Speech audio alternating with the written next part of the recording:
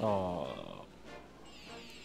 Explain how to distinguish the quality of waifus. Okay, so are you familiar with Plato's philosophical concept of the Platonic ideal? Basically, what he describes is in the realm of thought, every concept and physical object that we've ever encountered has sort of the Platonic or perfect ideal. So, like, it's how we know something is what it is.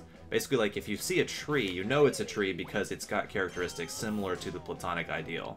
You know it's got a trunk it's got leaves it's you know green or you know not not every tree adheres to this but essentially you know these these characteristics of the platonic ideal are how we know something is what it is.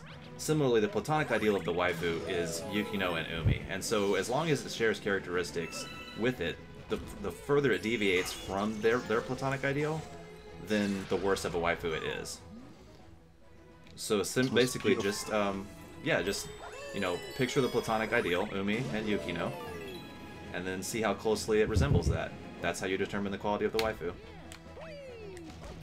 That was beautiful. can, what can I say? They inspire me. Hey, Stepos.